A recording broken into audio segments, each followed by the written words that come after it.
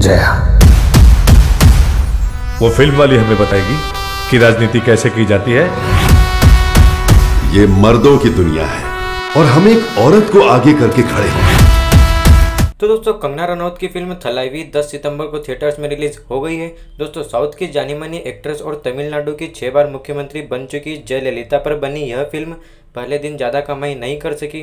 दोस्तों, आपको बता दें कि कंगना रनौत और अरविंद स्वामी जैसे कई दिग्गज एक्टर्स वाली यह फ़िल्म तीन भाषाओं, तमिल, तेलुगु और हिंदी भाषा में रिलीज़ हुई थी। दोस्तों बॉक्स ऑफ़िस इंडिया की रिपोर्ट के मुताबिक फ़िल्म थलाईवी की कमाई जहाँ बाकी जगहों पर काफ़ी कम रही, वहीं दिल्ली, यूपी और गुजरात के दर्शकों ने अच्छा कॉन्ट्रीब्यूशन दिया है। दोस्तों, पहले दिन देश भर में करीब एक करोड़ पच्चीस लाख रुपए का कलेक्शन हुआ है। दोस्तों, फ़िल्म ने तमिलनाडु में अच्छी कमाई की है। यहाँ कुल कलेक्शन अस्सी लाख के आसपास हुआ है। दोस्तों, कंगना की यह फ़िल्म रीजनल फ़िल्म लाभाम को जमकर टक्कर दे रही है। वहीं दोस्तों, अक्षय कुमार की फ़िल्म बेल बॉटम ने पहले दिन दो करोड़ पिचहत्तर लाख रुपए का बिज़नेस किया था, लेकिन उसकी तुलना में कंगना की फ़िल्म थलाईवी ने सिर्फ़ एक करोड़ पच्चीस लाख रुपए का कलेक्शन किया है। दोस्तों, उम्मीद जताई जा रही है कि यह फ़िल्म तमिलनाडु में अच्छा बिज़नेस करेगी। फ़िल्म के साउथ लुक की वजह से यह नॉर्थ इंडियन फैंस को कम अट्रैक्ट कर सकती है। वहीं दोस्तों, यह फ़िल्म कंगना के करियर की सबसे अच्छी फ़िल्म कही जा सकती है।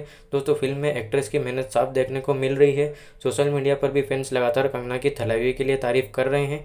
ये फ़िल्म तमिलनाडु की पाँच बार मुख्यमंत्री रही, जयललिता की लाइफ पर आधारित है, जिन्होंने काफ़ी कम उम्र में तमिल सिनेमा में अपने अभिनय करियर की शुरुआत की थी। इसके बाद जल्द ही उन्हें ऊँचा मुकाम भी हासिल हुआ था।